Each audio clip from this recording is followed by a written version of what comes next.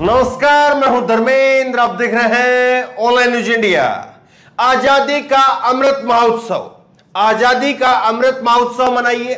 अपने घरों के ऊपर तिरंगा झंडा लगाइए। अपने प्रोफ़ाइल फ़ोटो में डीपी के अंदर तिरंगे की फ़ोटो लगाइए। देशभक्ति का सर्टिफिकेट दीजिए। लेकिन कोई खुलेआम कर रहा है। कोई खुलेआम कर रहा है नथुराम गोडसे की तिरंगे के साथ में यात्रा निकाली जा रही है। और ये कोई कौन है? ये कोई है हिंदू महासभा। हिंदू महासभा ने देश की आज़ादी के पिछहत्तरवें स्वतंत्रता दिवस के मौके के ऊपर राष्ट्रपिता महात्मा गांधी के हत्यारे की तिरंगे के साथ में यात्रा निकाल दी। इससे बड़ा और क्या हो सकता है? और मोदी जी एक तरफ़ जो है वो जब लाल किले से कल बोल रहे थे तो क्या कुछ नहीं कहा उन्होंने? लेकिन यहाँ पर उत्तर प्रदेश की सरकार, डबल इंजन की, भाजपा की सरकार योगी आदित्यनाथ की सरकार। क्या कुछ कर पाएगी? देखिए, मैं आपको खबर दिखाता हूँ। जाकिर अली त्यागी है, पत्रकार इन्होंने ट्वीट किया है। मुजफ्फरनगर में हिंदू महासभा ने गांधी जी के हत्यारे नाथुराम गोडसे की तस्वीर के साथ में निकाली तिरंगा यात्रा। अब जरा फुल स्क्रीन के ऊपर आप देखिए। ये वीडियो मैं आपको क्या सुनाऊं, क्योंकि इसमें गाने बज रहे हैं। तो लेकिन आप फुल स्क्रीन के ऊपर आप ये वीडियो देखिए। और यहाँ पर जो है वो टेंपो के ऊपर बड़ी सी फ़ोटो लगी हुई है। बड़ी सी फ़ोटो लगी हुई है नथुराम गोडसे की। और आगे लिखा भी हुआ है, भव्य तिरंगा यात्रा हिंदू महासभा। विश्व हिंदू महासभा जो है वो यहाँ पर लिखा हुआ है।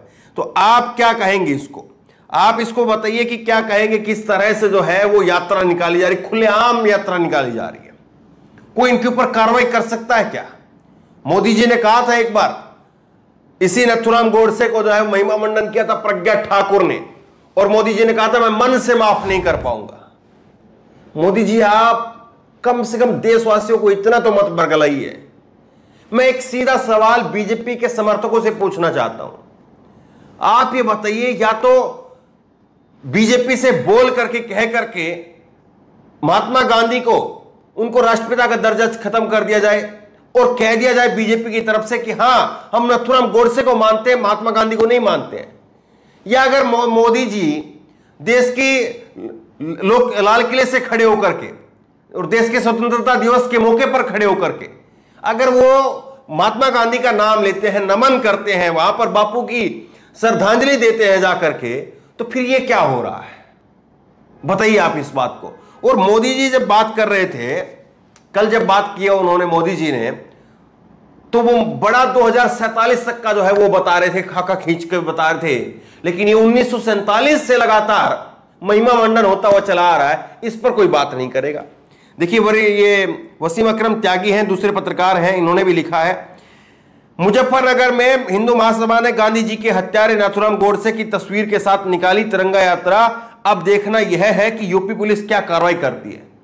कोई उम्मीद है कि यूपी पुलिस इस पर कार्रवाई करेगी? बताइए आप इसको। आज आप आज़ादी का अमृत महोत्सव मना रहे हैं और राष्ट्रपिता महात्मा गांधी के हत्यारे की नथुराम गोडसे किस तरह से यात्रा निकल रही है। अब इससे ज़्यादा जो है वो दिखाने, बताने, छुपाने के लिए क्या बचा है? कहीं पर कोई पर्दा बचा ही नहीं है। और ये पहली बार नहीं है कि कोई हिंदू महासभा ने ऐसा पहली बार क्या हो। मैं दो तीन आपको ट्वीट दिखाता हूँ। ये देखिए आप 19 मई 2019 का ट्वीट है। मुजफ्फरनगर में अखिल भारतीय हिंदू महासभा ने नथुराम गोडसे की 109 109वीं जयंती धूमधाम से मनाई। अखिल भारतीय हिंदू महासभा के प्रदेश अध्यक्ष योगेंद्र वर्मा का बयान गांधी जी 30 लाख लोगों के हत्यारे थे। देश की करेंसी से गांधी जी की फ़ोटो हटा दी जाए।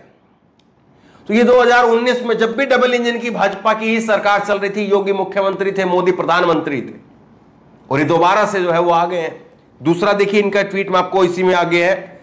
गांधी जी का देश आज़ाद कराने में कोई योगदान नहीं रहा है। योगेंद्र वर्मा साध्वी प्रज्ञा के बयान का भी अखिल भारतीय हिंदू महासभा ने किया समर्थन। तो वो जो बयान दिया था, उन्होंने ताज़ा ताज़ा जिस पर मोदी जी ने कहा था, मैं मन से माफ़ नहीं कर पाऊँगा। और उसका भी समर्थन ये लोग कर रहे थे। तो सीधे तौर पर देखे सीधे तौर पर देखे आप ये हिंदू महासभा जो है वो अपने आप को कैसे प्रोजेक्ट करती है? ये पत्रकार विशाल प्रजापति हैं और इन्होंने ये एक मा, एक मार्च 2022 की ट्वीट किया हुआ है और इसमें लिखा हुआ है कि मुजफ्फरनगर में हिंदू महासभा के कार्यकारी राष्ट्रीय अध्यक्ष योगेंद्र वर्मा जिनका भी मैंने ज़िक्र किया है एवं अखिल भारतीय हिंदू महासक हिंदू शक्ति दल के राष्ट्रीय महासचिव अरुण प्रताप सिंह ने शिव चौक हनुमान मंदिर में महाराज यति नरसिंहानंद जी का स्वागत कर आशीर्वाद लिया। साथ में हेमंत ग्रोवर, सचिन जोगी, आशुतोष खन्ना भी मौजूद रहे। अब गंगाधारी शक्तिमान है तो फिर कौन किस पर क्या कार्रवाई करेगा? बताइए आप इस बात को। दरअसल इन लोगों के ऊपर कार्रवाई करके भाजपा को अपनी रैलियाँ खाली थोड़ी ना करवानी है। ये वही लोग हैं जो भाजपा की रैलियों के लिए बसें भरते हैं। इस श्रीकांत त्यागी जैसा लोग जो है गिरफ़्तार हो गए, क्योंकि वो मामला सोशल मीडिया पर वायरल हो गया। और ये वीडियो अगर वायरल हो भी जाएगी तो भी इस पर कोई कार्रवाई नहीं होगी, क्योंकि ये पहली पहली बार नहीं हुआ है। देश ने हजम कर लिया इस बात को। हाँ, मोदी जी जो है वो कैमरे के ऊपर श्रद्धांजलि देते रहेंगे गांधी जी को। लेकिन ये लोग ये लोग यहाँ पर जो है वो अपने आप में महिमा मंडन करते रहेंगे गोडसे जी का। कमाल की बात है, और लोगों को इतनी बात समझ में नहीं आ रही है। एक तरफ़ मोदी जी जाते हैं और जाकर के राष्ट्रपिता को नमन करते हैं और दूसरी तरफ़ मोदी जी के ही ये समर्थक, मोदी जी को ही जिताने वाले ये लोग, ये गोडसे को जो है महिमा मंडन कर रहे हैं। इतनी सी बात देश को समझ में नहीं आ रही है कि किस तरह से जो है वो, और कल मोदी जी ने, कल मोदी जी जब बोल रहे थे कि महिलाओं का सम्मान करना चाहिए, उनका गला भराया, रोने को हो गए वो, भावुक हो गए, लाल किले की प्राचीर से। और कमाल की बात है, यही मोदी जी जो है वो देश की संसद में खड़े होकर के ठाके लगवा रहे थे। कांग्रेस की सांसद रेणुका चौधरी के लिए, कि बहुत दिनों बाद में ऐसी रामायण जैसी हँसी सुनने को मिली। ये ताड़का के साथ में और ना जाने किस किस के साथ में जो है वो दिखाते हैं और फिर उसके बाद में लाल किले से खड़े होकर के भावुक हो जाते हैं कि महिलाओं को गाली देने का जो है वो चलन बंद करना पड़ेगा। महिलाओं को गाली देना उसको तो आप बंद करवाने की बात कह रहे हैं, लेकिन सरेआम यहाँ पर राष्ट्रपिता महात्मा गांधी के मुँह पर काली पोतने का काम किया जा रहा है। गाली देने का काम किया जा रहा है। इस पर कोई बंद करवाएगा? बताइए जरा इस बात को। और सबसे बड़ी बात यह है, मोदी जी जो है वह बात कर रहे हैं दो की। सीधे सीधे 25 साल की बात कर रहे हो। मोदी सरकार ने ही जो अभी तक चल करके आ रही थी, उन्नीस सौ सैंतालीस से लेकर के अभी तक जो योजना चल के आ रही थी, पंचवर्षीय योजना। पाँच साल के लिए सरकार एक योजना बनाती थी। उस पर काम होता था, उसको बंद कर दिया। कि पंचवर्षीय योजना बंद करो।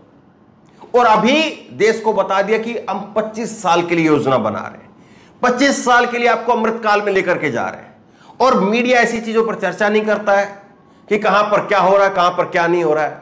देखिए, साफ़ और सीधा सवाल यह है कि देश अब तय करे।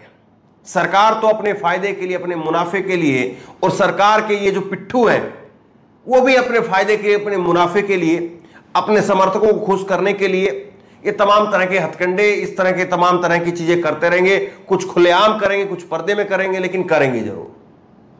अब देश ये तय करे कि आपको भी चीज़ें दिख रही है नहीं दिख रही है। मीडिया नहीं दिखाएगी। लेकिन कम से कम कुछ लोगों में अकल बची है। कुछ लोगों में बचा है कि आने वाले टाइम में हम क्या छोड़ करके जाएँगे अपने बच्चों के लिए। क्या गोडसे को राष्ट्रपिता बना दिया जाएगा क्या? सोचिए जरा इस बात को आप। इसी तरह से महिमा मंडन चलता रहा। 25 साल के अमृत काल में आप जीते रहे। 25 साल के लिए आपने सोचना समझना जो है, वो खत्म कर दिया कि चलिए 25 साल तक तो लगे रहना है। और 25 साल तक लगे रह करके दो में हम बात करेंगे। तब कुछ और झुंझुना पकड़ा दिया जाएगा और गोडसे को एक दिन राष्ट्रपिता बना दिया जाएगा, जिस तरह से ट्रेंड चल रहा है। तो सोचना वो देश के लोगों को है, क्योंकि बाकी सब लोग अपना काम कर रहे हैं। अब देश के लोग क्या काम करवाना चाहते हैं? क्या देश के लोग आने वाले अपनी पीढ़ियों के लिए राष्ट्रपिता महात्मा गांधी को अपने आदर्श के तौर पर देखते हैं, जिनको दुनिया मानती है, या फिर गोडसे को जो है, वो आने वाले राष्ट्रपिता के तौर पर देखते हैं। तो बहरहाल, इस वीडियो को, इस खबर को ज़रूर शेयर कीजिए। लोगों की आँखें खुलनी बहुत ज़रूरी है। लोगों तक सच पहुँचना बहुत ज़रूरी है। इस वीडियो को लेकर, इस खबर को लेकर आपकी जो भी राय हो, नीचे कमेंट बॉक्स में अपनी राय ज़रूर दें। और इसी तरह तमाम खबरों के लिए ऑनलाइन न्यूज़ सब्सक्राइब करें। साथ में जो बेल आइकन घंटी उसको ज़रूर दबाएँ। ताकि जैसे वीडियो अपलोड करें, उसकी नोटिफिकेशन आपको तुरंत मिल सके। धन्यवाद। इस खबर को अभी लाइक करें शेयर करें। अभी चैनल को सब्सक्राइब करें और घंटी ज़रूर